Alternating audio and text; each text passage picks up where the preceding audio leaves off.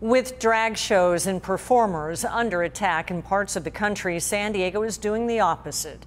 As ABC 10 News anchor Aaron Dickens reports, drag performers will be leading this year's Pride Parade.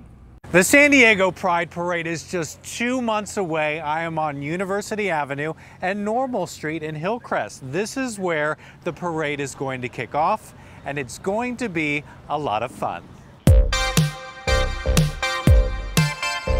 She is six foot two in heels. Amber St. James is one of hundreds of drag performers who will be leading the parade this year. I mean, I won't be the only one leading the parade. I mean, I will look fierce and fabulous, um, but I, I, honestly like it. It feels very much in line with our queer ancestors, those that were involved in the civil rights movement. St. James started performing drag in San Diego 10 years ago. It was because my drag mother, Lucila Bruja, was performing, and she is this amazing Filipinx, non-binary, just entity of beauty. Um, and seeing her just live so freely in the moment made me really want to seek out that liberation.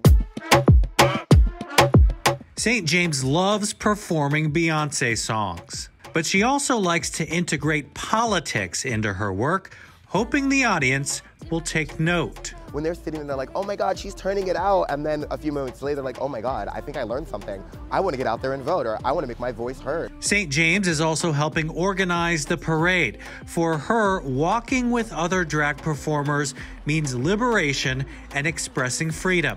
One step at a time. It's a real long walk, so you know we might have to see you at Balboa instead of you you know walking in the thing, but we will have many different ways that drag performers can be able to engage with us. Aaron Dickens, ABC 10 News.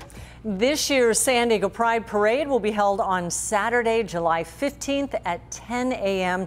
and ABC 10 News will be among the marchers.